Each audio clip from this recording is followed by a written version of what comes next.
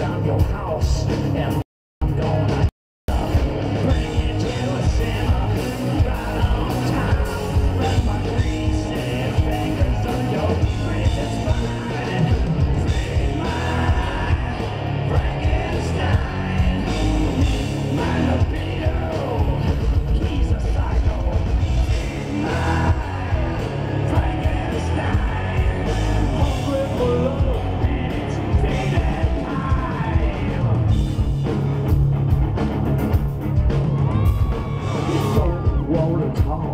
so big and shut up.